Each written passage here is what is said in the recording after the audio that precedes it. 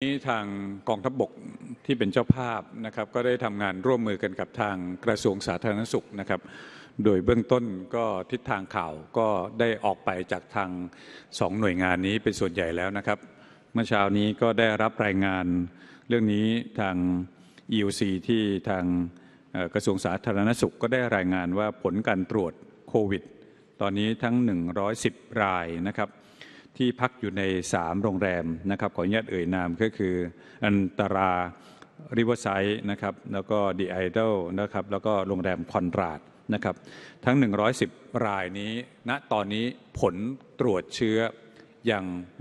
ไม่พบเชื้อนะครับทั้ง 110 รายนะครับ ก็นำเรียนว่าไม่ได้มีข้อกังวลณตอนนี้ แต่อย่างไรก็ตามแต่ครับ ถ้าท่านอ ผู้ชมท่านประชาชนทั้งหลายที่ให้ความสนใจตอนนี้ เดี๋ยวหน่วยงานทั้งสองนะครับก็จะได้ให้ชุดข้อมูลนี้ในการที่จะรายงานเป็นระยะระยะนะครับทางสบคได้มอบให้ทางกองทัพบก และก็ทางกระทรวงสาธารณสุข รายงานต่อพี่น้องประชาชนต่อไปครับครับผมค่ะ